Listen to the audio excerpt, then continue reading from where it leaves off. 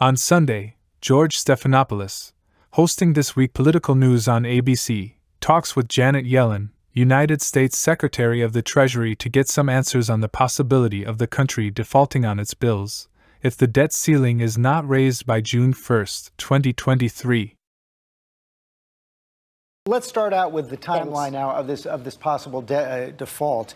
Uh, you said earlier this week that you expect that it could come as early as June 1st. I know you get new information every day. Is that still your best estimate? Uh, yes, early June is when we project that we will run out of cash, and there is a chance it could be as early as June 1st.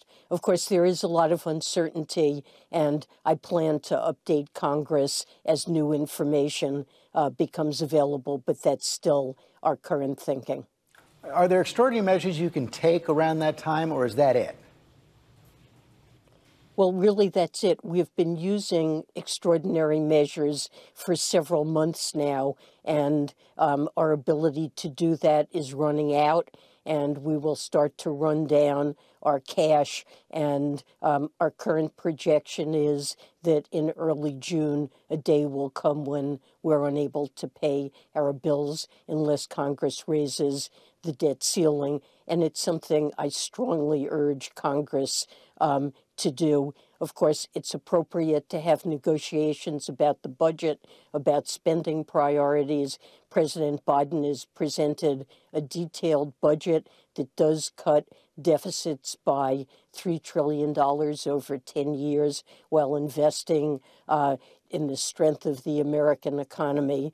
Um, but uh, we do need to raise the debt ceiling to avoid economic calamity. What, what paint a picture for everyone. What happens on that day? Let's assume, for the sake of argument, it's June 1st. What happens that day if the debt limit has not been extended? Well, Treasury finds itself in a position where we're unable to pay all of the bills that um, come due that day, and um, this would be really the first time in the history of America that we would fail to um, make payments that are due.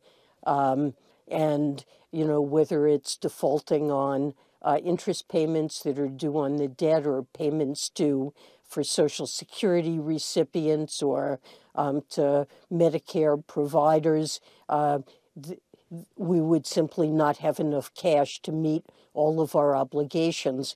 And um, it, it's widely agreed that financial and economic chaos would ensue. Uh, U.S. Treasury securities are the safest um, bedrock security um, underlying the global financial system.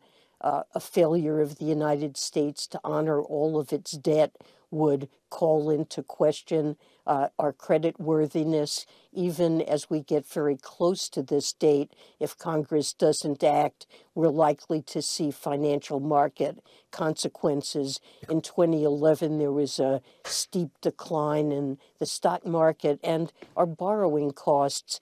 Um, back in 2011, the U.S. Uh, was downgraded by the credit rating agencies, there would be permanently higher borrowing costs for Americans for buying a home, buying a car, and um, a failure to raise the debt the ceiling would cause a steep economic downturn. The question is what to do about it. Of course, you talked about spending cuts. We've now seen 43 Republican senators say uh, they're not going to extend the debt limit without significant spending cuts and other reforms. Of course, the House passed their bill as well, but the president says he's not going to negotiate. So, we, is, is one possibility that you do a side negotiation on spending cuts? The president says it's not tied to the debt limit. Republicans say it is. Well, look, I don't want to get ahead of um, the negotiations that will occur. Uh, President Biden has invited invited the leadership of Congress to the White House on Tuesday. I know he wants to set up a process um, in which spending priorities and levels um, are discussed and negotiated, but these negotiations sh- should not take place with a gun uh, really to the head of the American people because. But they are taking um, place with that gun to the head of the American people. Well, it's important for Congress to meet a responsibility. uh, since 1960, the debt ceiling has been raised 78 times, uh, three times during the prior administration, always with bipartisan support.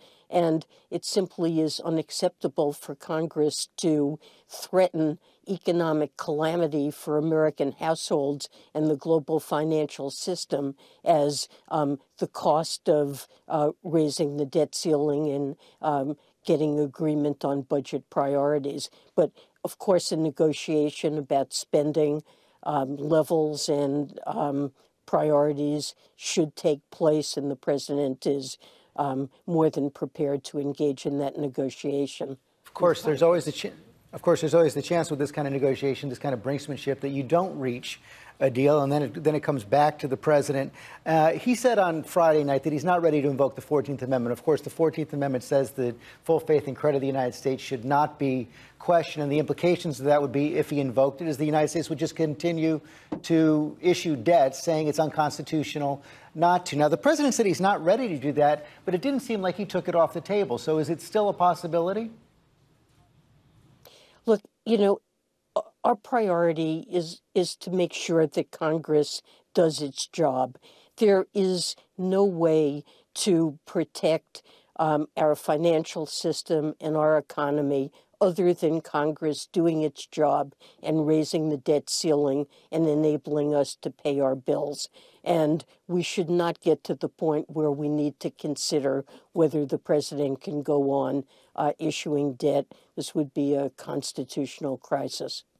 But do you? But is it on the table? Is it something that could be considered? Are you saying you just said there's no way this can be done without Congress? Is that a hard and fast position that the president will, under no circumstances, invoke the Fourteenth Amendment?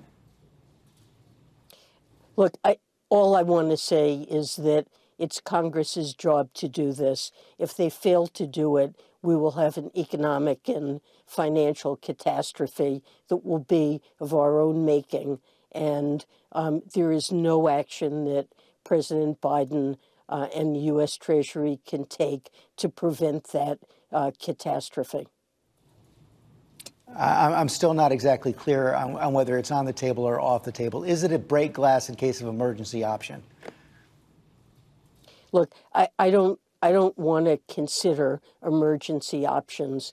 Um, what's important is that members of Congress recognize what their responsibility is and um, avert what will surely be, regardless of how it's handled, what option is used to handle it, um, an economic and financial catastrophe. It sounds like you're saying you don't want to, but you may have to. Well, what to do if Congress fails to meet its responsibility, there is simply no good options and the ones that you've listed are among the not good options. A final question. I want to ask you a question about the banking crisis. We've seen three bank failures this year. Two more regional banks appear to be on the edge. Do you believe, still believe that our banking system is strong and resilient? We don't have a systemic problem? I do believe that. Uh, I believe our banking system uh, has strong capital levels and access to liquidity. Um, we've taken decisive action to make sure that difficulties at a few banks don't create contagion that undermines the confidence of depositors um, in the safety of their deposits in the banking system and the tools we used previously, we would be prepared to use again if necessary. But um, while bank stocks, some bank stocks are under downward pressure, earnings um, have been under pressure. Uh, the banks have access to liquidity and are well capitalized, and uh, I have confidence in the overall strength of the banking system. Madam Secretary, thanks for your time this morning. Thank you.